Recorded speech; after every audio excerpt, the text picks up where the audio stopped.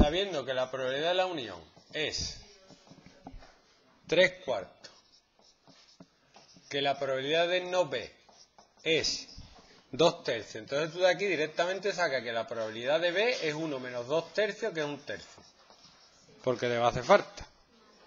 Y que la probabilidad de la intersección es un cuarto, calcula la probabilidad de B.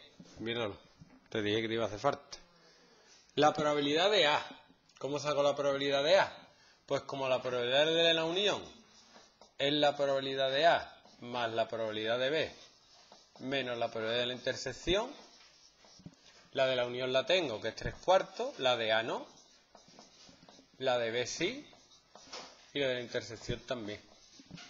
Entonces la probabilidad de A es 3 cuartos menos un tercio más un cuarto.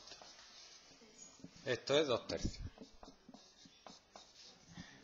Y te piden también la probabilidad de no A, esta mañana, intersección B. Y aquí te ha puesto la formulita. La probabilidad de no A intersección B, ah, pues no te la ha puesto. No te la ha puesto. Te la pongo yo. Esto es la probabilidad.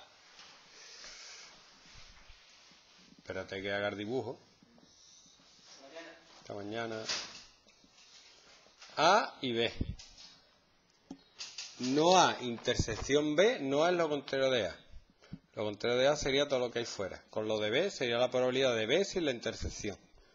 Y sería, esto sería B y no A la probabilidad de B menos la probabilidad de intersección.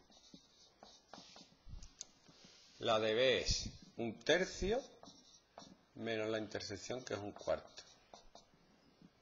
Y esto es un doceavo. ¿Otro?